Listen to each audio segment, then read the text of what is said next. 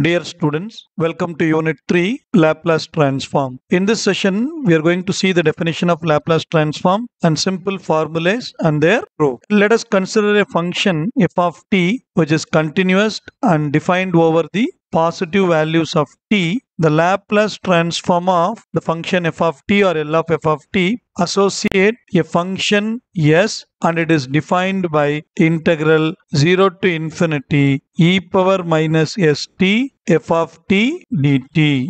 Next, we are going to see the sufficient condition for existence of Laplace transform. First, f of t should be continuous or piecewise continuous in the given closed interval a comma b provided a greater than 0. Second point, f of t is of exponential order. So I'll make a separate video for the theoretical ideas and concept. Now we are concentrating on problem solving point of view. Let us write some formulas L of e power at. L of e power at is going to be 1 divided by s minus a. Then you can easily guess what is L of e power minus at. It is going to be 1 divided by s plus a. L of sin at.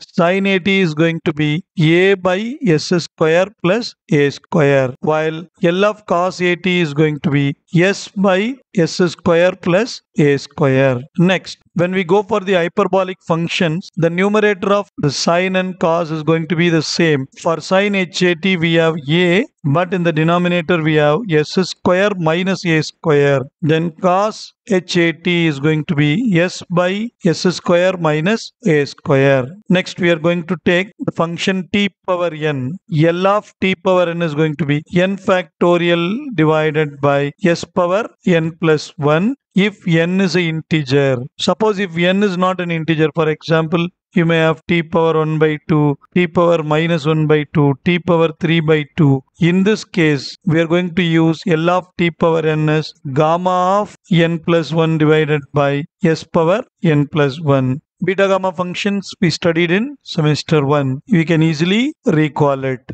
And finally, L of 1 is 1 by s, that is L of t power 0. So when I put n is 0, 0 factorial divided by s power 0 plus 1, that is 1 by s. So these are all some basic formulas we are going to use in the problem solving purposes. So now we are going to see the proof for some of the formulas like e power at, minus at, sine cos, sine hat and cos hat.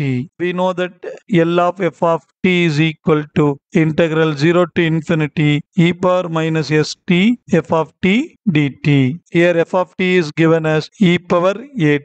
Therefore L of e power at is integral 0 to infinity e power minus st e power at dt. We know the result e power minus infinity is 0 and e power infinity is infinity. So whenever we get the limit 0 to infinity exponential negative always better to keep e power as negative. Since the base is same, I'm going to club this. I'll take minus outside. So I'll be getting e power minus s minus a into t dt. To understand students what is happening here, integral 0 to infinity e power minus st plus at.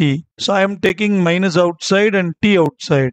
Now we know the integration of e power ax is e power ax by a. So integration of e power minus s minus a into t dt is going to be e power minus s minus a t divided by minus s minus a integral 0 to infinity. Now substituting the upper and lower limit, we get e power minus infinity minus e power 0 divided by minus s minus a. e power infinity just now I said it is going to be 0 and e power 0 is 1 that is known to us. Substituting the value we get 0 minus 1 by minus of s minus a. Minus minus get cancelled and we get 1 by s minus a. Now you understand how the formula comes. L of e power at is 1 by s minus a. Next, L of e power minus at is 1 by s plus a provided s should be greater than minus a. The same thing. Now when we club this 2, we'll be getting e power minus of s plus a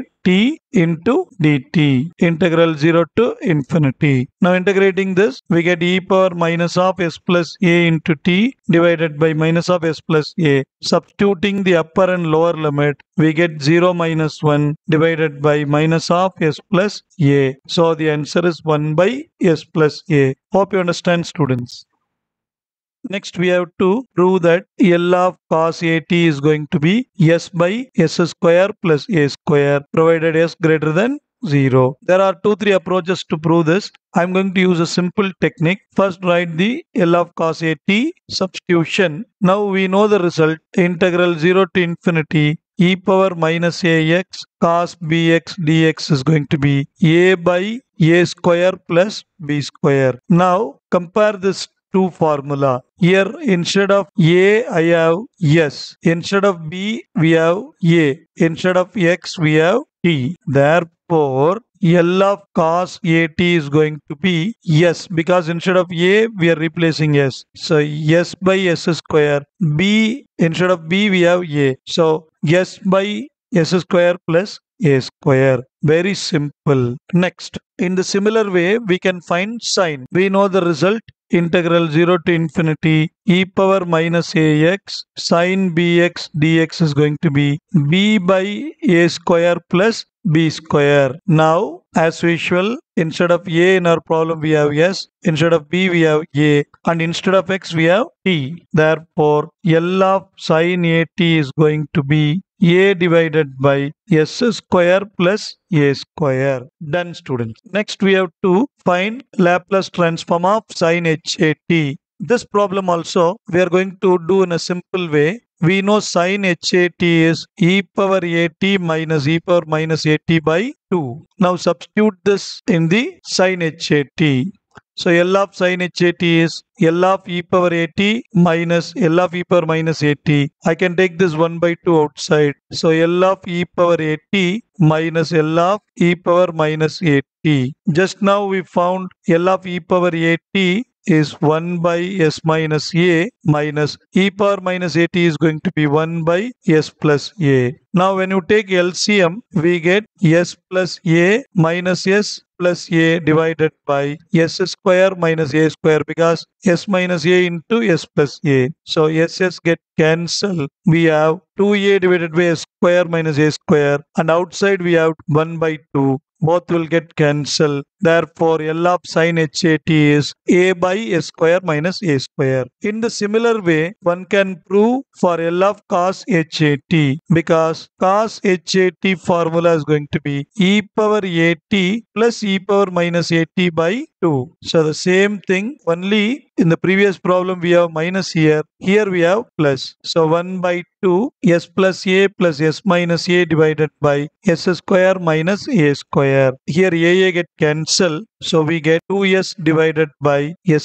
square minus a square. Now 2 to get cancelled. s by s square minus a square. And finally we have to prove L of c is equal to c by s where c is any constant.